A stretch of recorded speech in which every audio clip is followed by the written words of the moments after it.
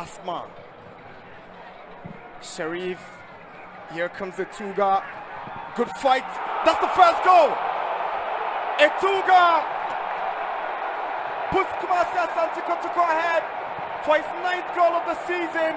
The Cameroonian is on fire. He missed the crucial spot kick. It all started from Kotoko's quick corner kick on a shot. But look at him, he's always looking for the ball on the edge of the box. It's Etouga. Ball broke kindly for him. Just took the ball around the defender and there. Striking the ball with some real power. But that is poor goalkeeping. He should be making the save. Asma for Kotoko, but the champion will put one through for Awuni. Good play from Awuni. Does he get the equalizer? Accra Lions. It's been better. Look at that. It was too easy to get the ball past him. And then Mubarak as well.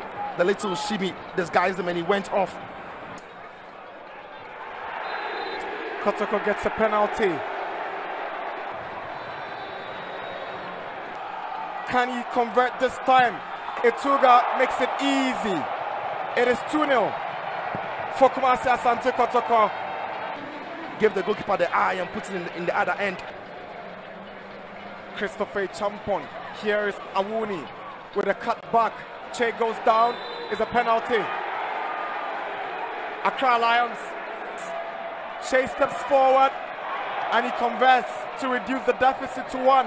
Is now Kotoko two. Accra Lions one. Dangan is good from the spot kick, but that was good enough. Real power to get past the goalkeeper. It's half time at the Baba Yara Stadium in Kumasi. Lamptey will push forward to join Afuakwa. Now Accra Lions in search for the equalizer. Christopher Echampon and Bassett just unable to find the back of the net. Japon. Kotoko get out of the block so impressively. And Etouga stays onside. Does he get his hat trick? Etouga. He grabs his hat trick and makes it 3-1 for Asante Kotoko. Got a hat trick against Ashdown and he has a hat trick today. What is there not to like about a player of such calmness, of such preciseness about him and, and the golden touch on his boots? But Domakon sends a cross in and Mubarak heads it out. The Etouga show is over. Asante Kotoko 3, Accra Lions 1.